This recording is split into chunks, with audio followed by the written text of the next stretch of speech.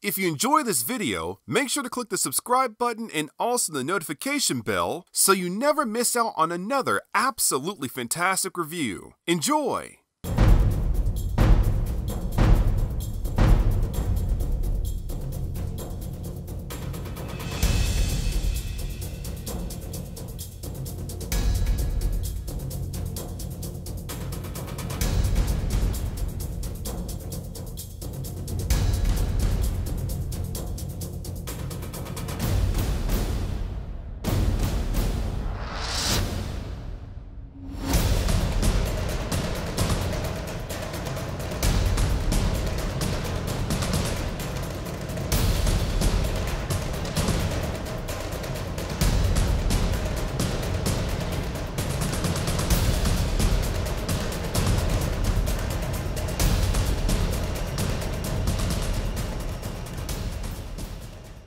Hello everyone, it's Diego Doom here, bringing you another review. Today I'll be reviewing Soul of Chogokin GX74 Getter 1 Dynamic Classics.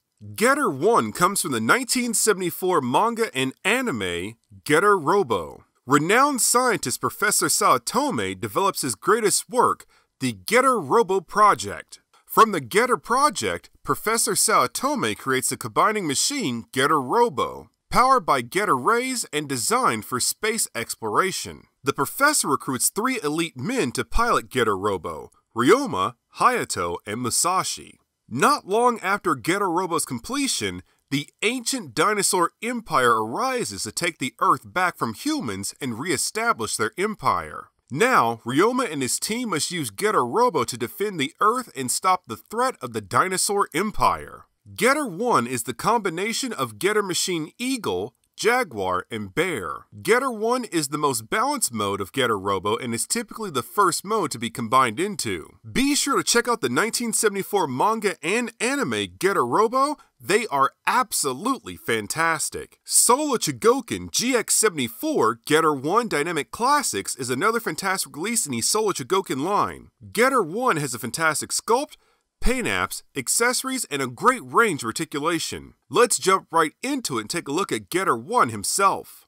Getter 1 has a great range of articulation. First, let's start with the head. We can look up, down, left, right. The shoulders have a great range of movement. They can move in and out and rotate a full 360 degrees. To give us a better range of motion in the shoulders, a smaller chest piece has been included. To attach, simply swap it out for the normal chest piece. With the smaller chest piece attached, now Getter 1 can reach across his chest and has a better range of motion as a whole in the shoulders. The shoulder pads are on their own hinges. The arms can come up 90 degrees. We have a bicep swivel. We have single jointed elbows. We have an elbow swivel. The fists are on ball joints so we can tilt and spin them freely. In the upper chest, we can lean forward and backward. In the mid chest, we have Getter 1's very cool Getter Beam gimmick. So the panel in the center of the chest can actually flip over and reveals a Getter Beam lens, which is definitely very cool. The legs can kick forward this much, backward this much, and come out to the sides this much initially. An additional waist piece has been included that gives Getter 1's legs a better range of motion. To attach, simply swap it out for the standard waist piece. Now for a new waist piece attached, Getter 1 can kick up a little bit more, backwards a little bit more, and come out to the sides a little bit more. We have very nice, soft ratcheting double jointed knees. The feet can tilt and swivel, and also we can pull down on the ankle joint, giving the feet a little bit more range of movement. Getter 1 has a nice solid and sturdy feel to him thanks to his diecast content. Here are the diecast parts from what I can tell. When it comes to sculpting paint apps, Getter 1 is absolutely fantastic. Starting from the top, we have the head. At the top of the head, we have Getter 1 signature angular accents with a vibrant red paint app. This paint app is used on various parts of the body. In the center of the forehead, we have our cockpit window with a blue paint app. On the sides of the head, we have metallic silver spiked accents. The eyes have a hexagon sculpt with a vibrant yellow paint app. In the mouth area, we have more blue windows. The neck has a metallic silver paintout with red accent lines. Moving down, the chest has a nice large red sharp angular sculpt. We can see the teal windows of Getter Machine Eagle. On the top of the shoulders, we have the metallic silver Getter Tomahawk ports. Just below the upper chest, we have our Getter Beam port. The Getter Beam lens is a glossy black, which is kind of odd. It really should be a glossy or maybe a translucent magenta. The biceps and lower chest have a bluish white paint app. The forearms have Getter 1 signature Getter cutters with a semi-sharp sculpt and an off-white paint app. The fists have a nice robotic sculpt. The waist has a vibrant yellow paint app with a black belt at the top. The legs have a smooth, slim sculpt with a bluish white paint app and red accents. The feet have an even simpler sculpt with a vibrant red paint app. For accessories, First up, we have Getter One's hands. We have a pair of open hands, chopping hands, cupping hands, holding hands, and one handshaking hand. Each of the hands have a fantastic robotic sculpt with a red paint app and gunmetal panel lines. The hands easily attach via ball joints. Now for a new set of hands, we can mix and match them to fit our dynamic poses.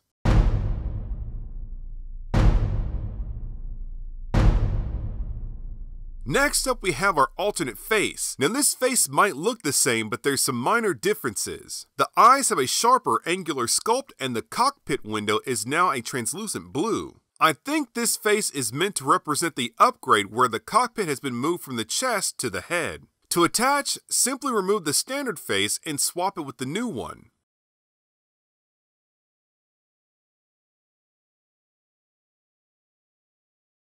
Next, we have our pair of Getter Tomahawks. The body of the Tomahawks have a nice club-like sculpt with metallic blue paint app. The body of the blade has a bluish metal paint app, while the edge of the blade has a metallic silver paint app. To equip Getter 1 with the Tomahawks, remove the end cap of the Tomahawk, insert the Tomahawk into the holding hand, and then replace the end cap. Now with the Getter Tomahawks in hand, Getter 1 can cut down his foes.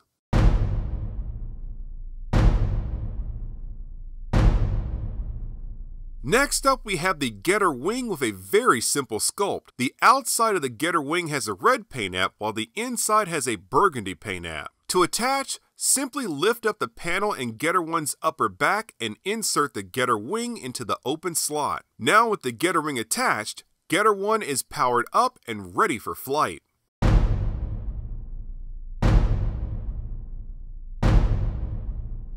Next up, we have one of the coolest accessories, the Getter Machines. First up, we have Eagle with a very nice aerodynamic sculpt and a vibrant red body.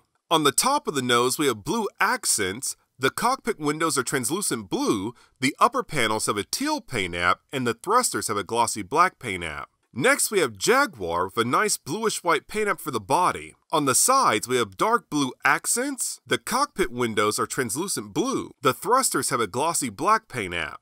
Finally, we have Bear with a vibrant yellow paint app for the body. The cockpit windows are translucent blue. Just below the cockpit, we have two blue panels. On the sides of Bear, we have our two large rockets. The thrusters have a dark matte gray paint app. A very cool thruster effect part has been included that plugs directly into the Getter machines. We'll set this all the way up once we take a look at our very cool stand. The stand has a very nice mechanical sculpt with a gold nameplate on the front. The stand can open up to store Getter 1 smaller accessories. The stand comes with two necks that plug into the back of the stand. We have a solid adjustable neck that plugs directly into Getter 1's back and a fully articulated neck with a clamp. You can swap the heads between the two necks. If you're going to put Getter 1 into a flying pose using the articulated neck, you will need to tighten the hinge screws for extra support. We also have a connected set of launch pads for our Getter machines that plugs into either front corner of the stand. Now, thanks to our stand, we have a cool way to display Getter 1, support our Getter machines, and support Getter 1 in flying poses.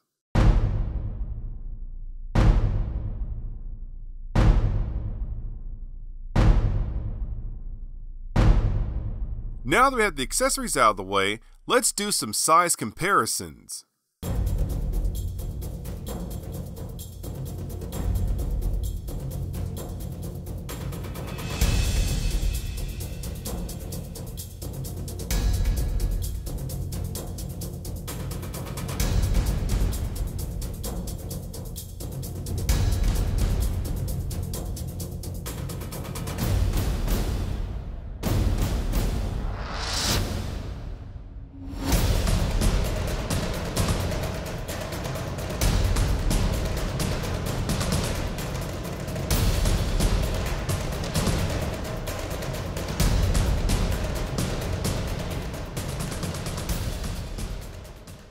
As a whole, Getter 1 turned out to be absolutely fantastic. The sculpt is very well done, the paint apps are anime accurate, clean, and very crisp, the accessories are awesome, and Getter 1's posable. I'm so glad we have this anime accurate release. I have to admit, I am burned out on our tubby Getter one from Getter Robo Armageddon. It's definitely refreshing to have a figure of this classic design. I absolutely recommend picking this figure up. Now, how much does Getter 1 cost? I imported my Getter 1 figure for $89, which is a great price. This has been another review by Diego Doom. Thank you very much for watching, and please stay tuned for more figure reviews. To see more Soul Chogokin reviews or another absolutely fantastic review, click the links on screen right now. Be sure to follow me on social media and remember to like, comment, share, and subscribe.